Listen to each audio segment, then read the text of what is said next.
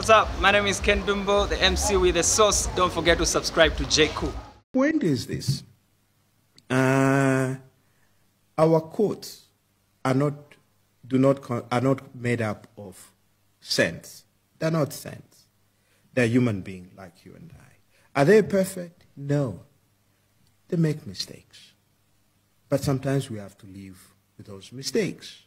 Now, if we say that it was a mistake to have ruled that Edgar was eligible in 2021, and now it is correct to now undo that, which is a better evil. Okay? From a legal point of view and looking at the interests of the country, I can live with the first mistake that Lungu is eligible.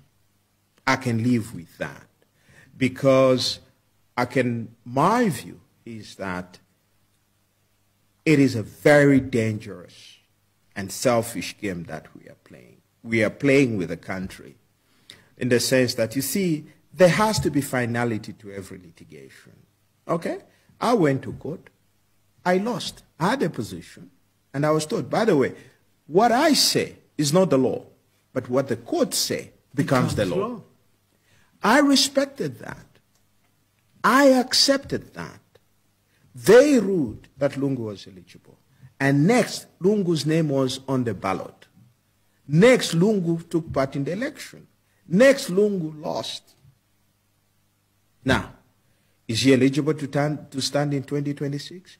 Yes, he's eligible because nothing has changed between 2021 and uh, the next election. God willing, he lives up to, to, to that point. Now, to go back and start now beating the court to change its tune, that is what I find difficult to accept. That is what we should not entertain as a country. And it's very dangerous. And my worry is that a decision to the effect that Lungu is not eligible, reversing the earlier decision would destroy the, the court completely. It will destroy the court completely. No matter how creative they may be in their thinking, okay, it will simply destroy the court. Because the court itself uh, has not helped itself. It has not conducted itself very well. It has failed to win the trust and respect of the people. And I think this will be a final blow.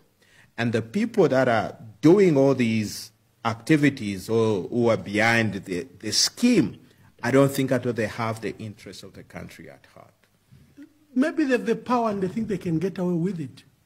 They may, they may, and that is why this podcast is important to be able to have a conversation and warn the people of this country that we are on a very dangerous path. Okay?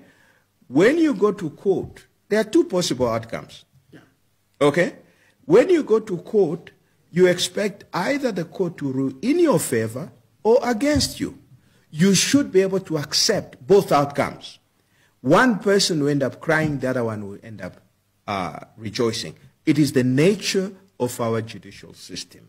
But you don't go back, you don't go back and start beating the court until, uh, first of all, you don't go back by first of all cooking the court so that it can give you the decision that you, uh, that, that you want. That is very, very indecent. Okay? It's not the way to do it. And that acts against the interest of the Republic. Now, that was one of the things that uh, motivated me. Okay? I have no right, because I can tell you, for example, I didn't vote for, uh, for, for, for President Lungu in 2021. I didn't. Okay? That is my right. That is my prerogative. I do not have the right to stop him from appearing on the ballot. I don't. He has the right to appear on the ballot, but he doesn't have a right to my vote. That is my prerogative. He has to earn people's votes. Okay? But this idea is, not, is happening again. In 1996, we used the law we used the Constitution to stop Kaunda from contesting. Now we are about to use the courts to stop another presidential candidate from contesting. And that is what I'm warning the country to say, please, let's make progress. This is not the way we should be conducting ourselves. We have more, far more pressing bread and butter issue to do.